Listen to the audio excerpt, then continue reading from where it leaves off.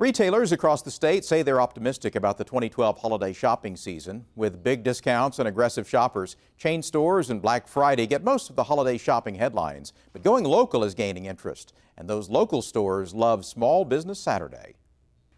Perfect. Is that going to be it for you? Yes. Perfect. You find everything okay? Oh, yeah. On the card? Cash registers are ringing steadily at many small local stores this week. John Milner of Tree and Leaf Clothing says last week's Black Friday kickoff started strong and stayed strong, except for a few hours when Bedlam took a bite out of Small Business Saturday. Typically, in past years, we've actually been a little bit slower on Black Friday, busier on Saturday, but I feel like what happened this year is people planning ahead, knowing that in the middle of the day they've got plans for the football game our largest traffic was actually on that Black Friday. We had a very busy Black Friday here, and our Saturday was just fairly consistent. So let me show you this one. This is this is probably one of the longest running designs we've had. It is our uh, Home Sweet Home design. Tree and Leaf is a graphic design and screen print shop that opened five years ago. Milner says he's seen steady growth every year since it's hard to grasp whether or not what we're really affected by a down economy or the fact that we were just really starting out. You know, we would be a year or two old at that time when that was happening.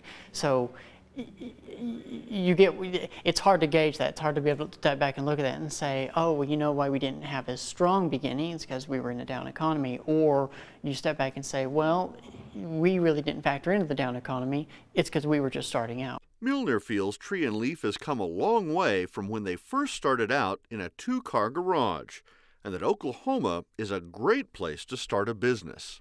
But I think we've got a really great climate right now to have small businesses opening. I think really around every corner you're seeing a little business open, a little mom and pop shop doing it.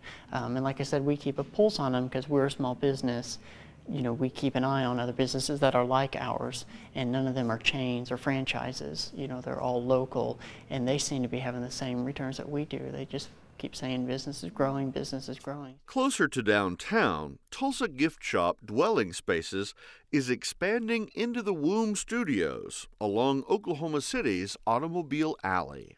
We just opened this shop uh, November 16th. So less, I think less than two weeks, and it's kind of gone off with a, a, bang, you know. And it's since it's so new, it's hard to say. Is it is it because we're new? Is it because of the holidays? Is it because of you know Small Business Saturday? You know what what is so.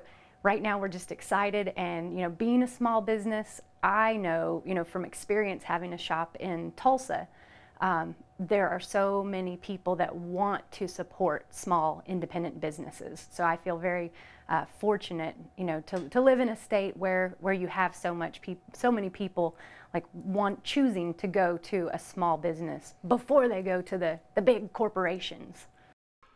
It's a small space, but they've been doing big business.